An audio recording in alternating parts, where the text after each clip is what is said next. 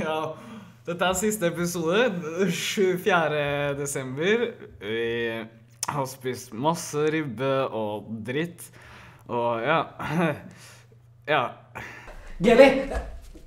Fredrik. Arne? Ah, vi har en Arne i filmklassen også. Nei, sier du det?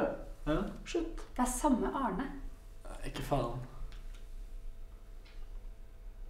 Uh, uansett, følg etter meg. Ok, jeg ser at dere er forvirra, men her er tegninga. Så jeg har grubla de siste dagene, og det jeg kommer fram til, er stort. Jeg har funnet løsninga. Bak her er løsninga på hvorfor reglene kom.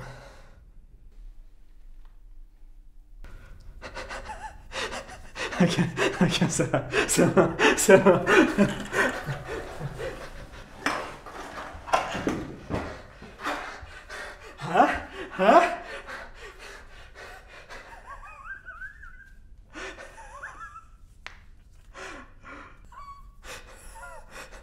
Ok, Så det hele starta natt til første?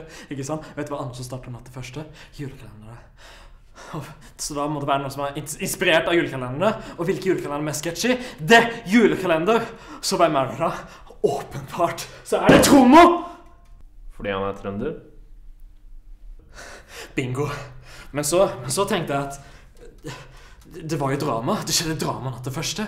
Det kan ikke være inspirert av julekalenderne. Så da er han ute av bildet. Så hørte jeg Arne. Men alle vet hva som skjedde med Arne. Alle vet jo om firkant eller trekant eller hva enn det var dramaet hans. Så tenkte jeg på Veronica Diaz. Men så slo det meg Hvem er det egentlig som tjener på dette? For Veronica Diaz tapte roomie-privilegiet sitt. Ja, men uh, hvorfor har jeg glemt her?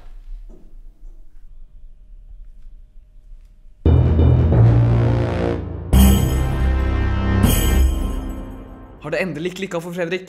Kommer trynet til Arne noen gang til å se bra ut igjen? Og hva skal egentlig Fredrik med bildet til Glenn? Følg med i neste episode!